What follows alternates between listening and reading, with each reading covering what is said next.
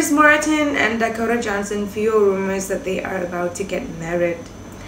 The Coldplay singer is said to have bought a commitment ring for younger actress girlfriend Dakota and sources are speculating an engagement will soon follow. Wedding bell could be on the horizon for Chris Martin and Dakota Johnson if rumors of a ring are to be believed.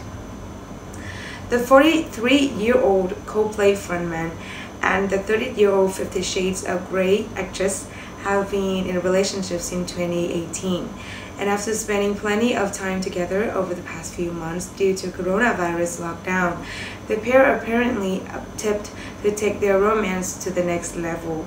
According to The Sun on Sunday, Chris has bought a commitment ring which he has lifted to Dakota as a statement of strength of his feelings to her.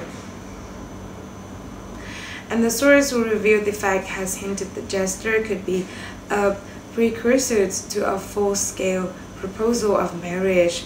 The source told the publication, Chris and Dakota have had a great summer and has really cemented their relationship.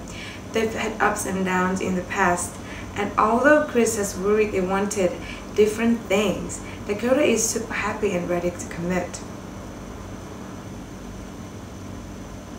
Chris has bought a ring as a sign of his intent, and no one would be surprised if an engagement announcement followed. However, a spokesperson for the singer dismissed talk of a wedding, telling Mirror Online they are not engaged and it's not true to say that Chris has bought a ring.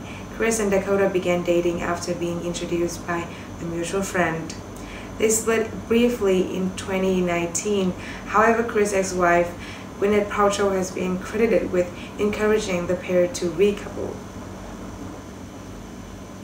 Chris Dakota Gwyneth and her current husband Brett Falchuk are firm friends and have holidayed together.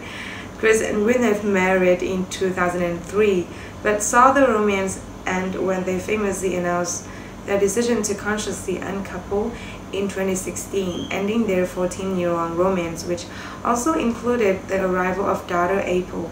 Apple now 16 and son Moses 14. Gwyneth went on to marry